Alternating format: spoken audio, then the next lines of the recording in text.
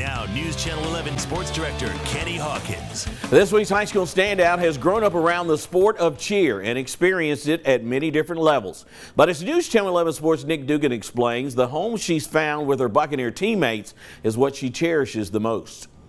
High School Standouts is sponsored by Model City Roofing.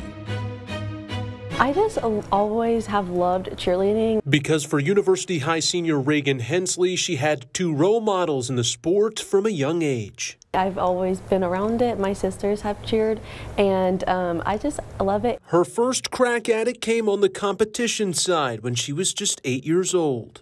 It was very fast paced, and I just liked um, you like you just don't even think in that moment of like three minutes being out on the stage in front of a bunch of people. But by the time high school rolled around, I just like was like I'm ready for a little bit of a change. There was a bit of an adjustment going from competitive cheer to scholastic cheer. I would say just going like slowing down like what you're saying or the counts really. But it took almost no time to settle in with her new teammates you just create such like bonds within the people like you're around you. You make such like a family in cheer and i love those girls with all my heart. There are no friday night lights at university high but that doesn't bother her one bit. She enjoys each opportunity she gets to cheer from the baseline especially when the boys squad is winning region titles it's very exciting and it like switches so quickly. So you have to very, you have to keep up a lot. But I love it and I would not have it any other way. Hensley puts in the work outside of cheer as well as a dually enrolled student at ETSU, taking some classes through Niswonger as she works to one day become